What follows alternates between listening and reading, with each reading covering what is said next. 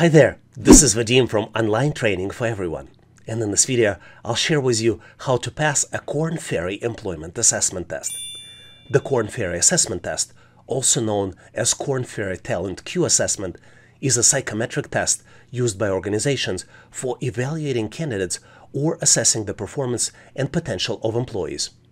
The test was developed to help companies make informed decisions regarding their talent selection and development. Make sure to watch this video from the beginning to end and if necessary multiple times until you have a good understanding of the questions and know how to solve them easily. If you would like to practice with the most recent questions for the assessment test, make sure to follow the links in the description and in comments of this video. And now let's go ahead and get started to help you prepared. Very frequently, you might be presented with the question where you need to determine the relationship. This is one of these types of questions. You need to determine if CEO is to the company as choice A, quarterback is to football, choice B, director is to a movie, choice C, conductor is to orchestra, choice D, pilot is to plane, or choice E, chef is to restaurant. Take a close look to see if you can come up with the right relationship. This is not an easy question, but keep in mind that you have a choice of pausing this video and maybe thinking about it for 10 to 20 seconds to see if you can come up with the answer. Did you figure it out? Let me share with you my version of the answer, and obviously if you have a better way to solve it, please make sure to post in comments. To understand the answer to this question, we need to understand who the CEO is. And the CEO, which stands for Chief Executive Officer, is responsible for making strategic decisions and overseeing the overall operations for the company. Knowing this information, let's build an analogy. CEO is to a company is as a leader to the organization. In the next step, let's look at the choices we're presented with and build similar analogies. For example, quarterback is to football is as a leader to the type of the sport. Choice B, director is to a movie is as a leader to the final product of work. Choice C, conductor is to orchestra, is as a leader to the team. Choice D, pilot is to a plane, is similar to the leader of the machine.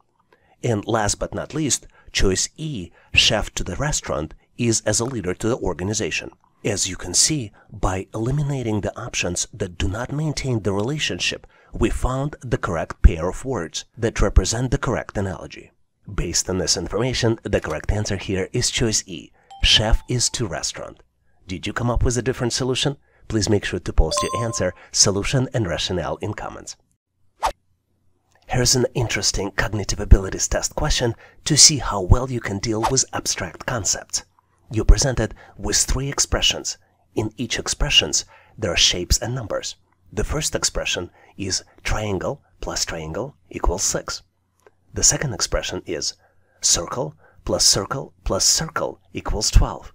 And the third expression is where you have triangle plus circle and you need to calculate the end result of this calculation. Once calculated, you need to select the answer out of four possible choices. Choice A, 5. Choice B, 7. Choice C, 9. And last but not least, choice D, 11. Take a close look to see if you can complete the calculations. Are you ready? Let me share with you my version of the answer here, and obviously if you have a better way to solve it, please make sure to post in comments. I mentioned abstract reasoning concepts because you need to associate each shape with the number. For example, in the first expression, we have one triangle plus second triangle equals 6. Both triangles are the same, which means that the one triangle's number can be calculated and associated with number 3. We can do similar math with the circles. Three circles equal 12, which means that one circle would be equal to 4. So triangle equals 3, circle equals to 4, and triangle plus circle would be equal to 7. So the correct answer here is choice B, 7. Did you get to the same answer? If not, please make sure to post your answer and rationale in comments. There's no better question to boost your IQ and brain power. You're presented with three expressions and you need to find the missing item in the third expression. The first expression is b plus d equals f. The second expression is z minus w equals c. And the third expression is D multiplied by E equals missing item. And you need to find and select the missing item out of four possible choices. Choice A, T. Choice B, S. Choice C, U. And last but not least, choice D, I. Take a close look to see if you can come up with the missing item. I'm going to give you a quick hint here. To solve this challenge, you need to know English alphabet. But it's one of the simplest alphabets available with only 26 letters. Are you ready? Let's move forward, so I'll share with you my version of the answer. And obviously, if you have a better way to solve it, please make sure to post in comments. To solve this challenge, you really need to have a good understanding of English alphabet. And not just the alphabet, but also analytically understand that you can assign a number for each letter of the alphabet. I already mentioned that there are 26 letters in English alphabet, and this is probably one of the first things you study when you study English. So the letters are would be A, B, C, D, and so on. And you can go forward, and for each letter, you can assign the number. For example, letter A will get associated with number 1. Letter B will be associated with number 2. C with 3, D with 4, E with 5, and you can continue up to the letter Z, which would be associated with number 26. With this cross-reference, let's see if we can get a better conversion between letters and numbers. For example, expression B plus D equals F in reality, after conversion, would be 2 plus 4 equals 6, which makes mathematical sense. Let's look at the second one. Z minus W equals C would in reality be equal 26, which is the number associated with letter Z, minus 23, which is the number associated with letter W, which would be equal to 3. So the last expression, D multiplied by E, in reality would be equal 4 multiplied by 5 and would be equal to 20, which is associated with the letter T. So the correct answer here is choice A, T. Did you get to the same answer? If not, please make sure to post your answer and rationale in comments. Here's one of my favorite questions where you need to look at the image and calculate the missing number. You're presented with four triangles. One triangle in the middle is larger than the others and it has number 3 inside. There are three other triangles at the tips of the big triangle. The numbers inside those smaller triangles, if we start with the bottom right triangle, are 5, 9, and then comes the missing number, which you need to calculate and select out of four possible choices. Choice A, 13. Choice B, 15. Choice C, 17. And last but not least, choice D, 21. Take a close look to see if you can complete the calculations and make the right choice. Did you figure it out? I am moving forward to share with you my version of the answer. And obviously, if you have a better way to solve it, please make sure to post in comments. If you are a frequent visitor to this channel, you know the rule. And the rule is to complete the calculations and solve the challenge, you need to understand the pattern. And the pattern here is very simple. It's a counterclockwise navigations when you do the calculations. You start with the smallest number 3 and then calculate number 5, calculate number 9 and then calculate the missing number. In this pattern, to calculate the next number in the sequence, you need to double the previous number and subtract 1. Let's look at the example. The first number is 3. To calculate the next number, we need to add 3 plus 3, then subtract 1, and the end result of this is 5. Let's go to the next number. 5 plus 5 minus 1 equals 9. That's how we got the number on top in the small triangle. And now let's calculate the missing number. 9 plus 9 minus 1 equals 17.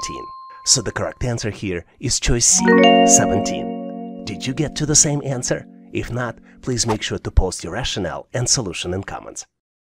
Here's one of those types of questions where if you are a frequent viewer in this channel or maybe even a subscriber, you will be able to solve easily.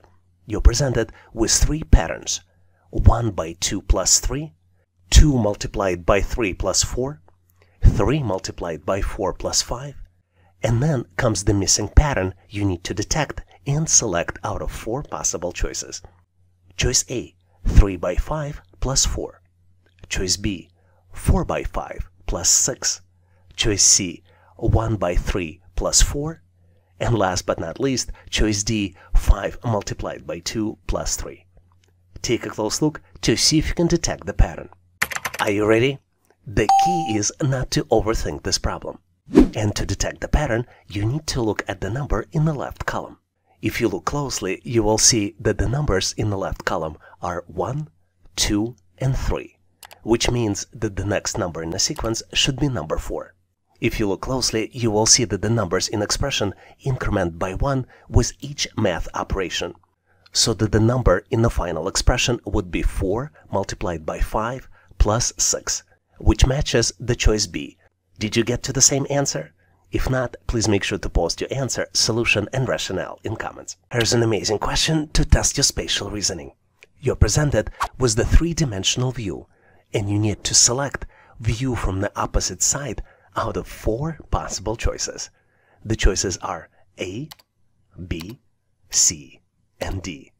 Take a close look to see if you can select the right solution.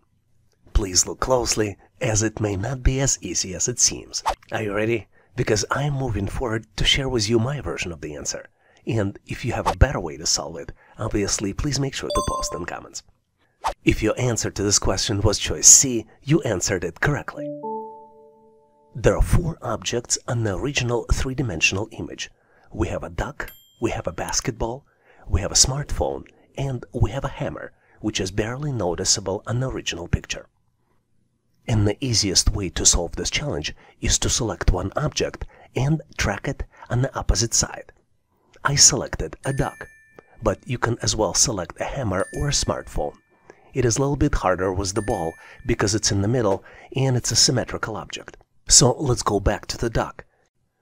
If you look at the original image, you see that the duck is looking to the left and it is on the left side of the ball. Which means that if we look from the opposite side, the duck will be looking to the right and would be on the right side of the ball.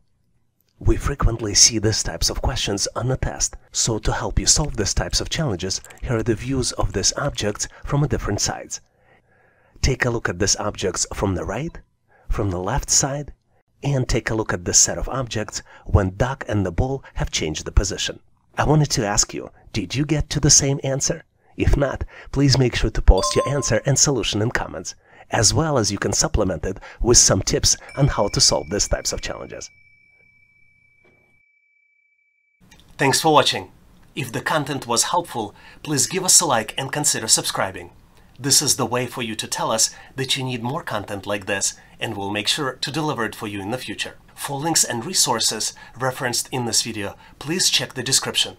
You can also go directly to our website howtoanalyzedata.net to find what you're looking for and download the materials.